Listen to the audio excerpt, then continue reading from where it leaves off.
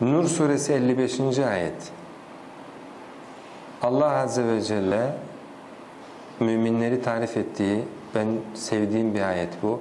Allah müminlere sizden iman etmiş olanlara salih ameller yapmış olanlara olanları yeryüzünde halef kılacağını yani onları yere varis kılacağını kemestehlefellezine min kablihim kendilerinden öncekileri nasıl istihlaf ettiyse, halef kıldıysa وَلَيُمَكِّنَنَّ لَهُمْ دِينَهُمْ اَلَّذِي ارْتَضَى لَهُمْ Dinlerini onlar için mümkün kılacağını, yaşanmaya imkan ve fırsat vereceğini وَلَيُبَدِّلَنَّهُمْ مِنْ بَعْدِ خَوْفِهِمْ اَمْنًا Ve korkularından sonra onları emniyete kavuşturacağını يَعْبُدُونَنِي dedikten sonra Cenab-ı Hak artık onlardan doğrudan konuşuyor.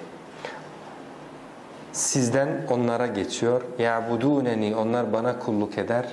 لَا يُشْرِكُونَ بِي شَيْئًا Bana hiçbir şeyi şirk koşmazlar. وَمَنْ كَفَرَ بَعْدَ ذَٰلِكَ Kim bundan sonra küfrederse, Cenab-ı Hakk'ın nimetlerini yok sararsa فَاُولَٰئِكَ هُمُ الْفَاسِقُونَ İşte onlar fasıkların ta kendileridir.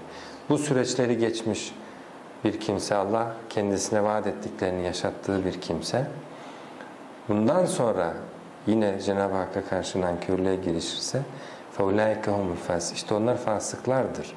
Bu demek ki bana şeyi anlatıyor, yaşam içerisindeki fırsat döngüleri, Cenab-ı Hakk'ın kuluna yaşattığı fırsat döngüleri ileriye doğru artık zorlanıyor. Gençlikteki gibi değil.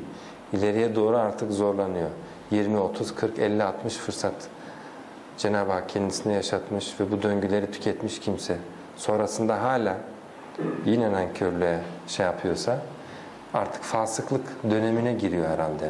Kullama ruddu ila'l fitneti urkisu fiha gibi.